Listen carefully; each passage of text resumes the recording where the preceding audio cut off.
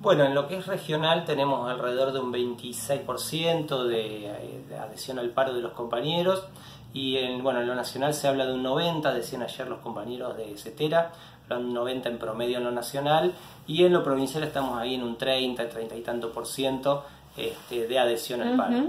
Eh, esta adhesión, digamos, puede leerse de dos maneras. Por un lado puede verse como baja, eh, si uno lo compara con lo nacional, pero bueno, nosotros lo, analizamos desde otro lugar, nos parece que es una adhesión razonable, una adhesión alta, en el sentido de cómo está el contexto provincial. Nosotros venimos de haber terminado una paritaria muy satisfactoria, eh, que en base a la lucha del año pasado, digamos, y lo que fuimos capaces de hacer, tenemos una paritaria a principio de año, antes de que lleguen los chicos a la escuela, hemos logrado los ingresos, hemos eh, logrado los traslados, digamos que si uno ve ese contexto donde se ha dado en lo provincial digamos, un gran crecimiento y un gran avance, eh, podemos decir que un promedio de un 30% es satisfactorio en, ese modo. ¿no? Básicamente tiene que ver con que la gente llegó conforme al día del inicio de clases. Fue un acuerdo bien logrado entre las dos partes, ¿no? Sí, yo creo que sí, exactamente. Eso tiene que ver un poco el contexto, ¿no? Si uno lo, ve como algo negativo, este, lo puede ver desde ahí, pero creo que en realidad lo que, tiene, lo que habla de esto es haber podido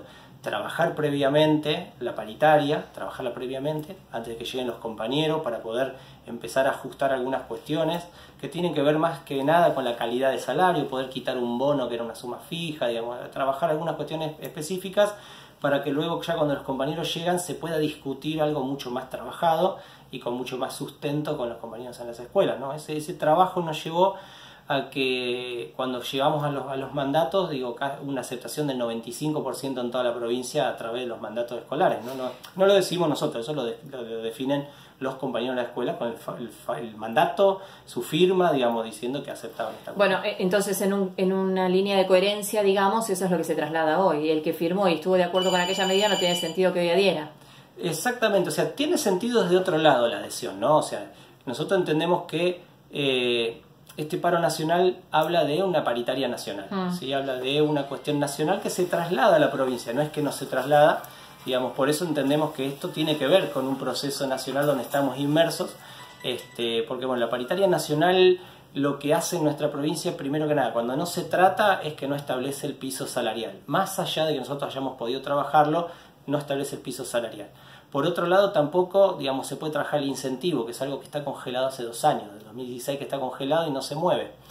No se puede trabajar los planes socioeducativos, se terminó Conectar Igualdad, se provincializó el FINES con un resultado bastante, digamos, magro, eh, porque bueno, se va desfinanciando en las provincias. No se puede llevar adelante el PNFP, cambió de nombre, ahora se llama Situada, bajó muchísimo la calidad, digamos, tiene otro enfoque, otro formato, digamos. Entonces, todas estas cuestiones por ejemplo, lo universitario también se traslada ahí, digamos, la paritaria nacional, se discute el financiamiento para lo universitario, se discute el financiamiento edilicio, ¿no? la, construcción de las escuelas que tanto se habló, digamos, este gobierno prometía 3.000 jardines, no construyó ni uno. Ahí se discuten todas estas cuestiones, por eso es, digamos, es sumamente importante que se entienda, digamos, en lo provincial también que somos parte de eso. Eh, pero bueno, más allá de, lo que tiene que ver con lo nacional, obviamente que pesa bastante el, el contexto provincial.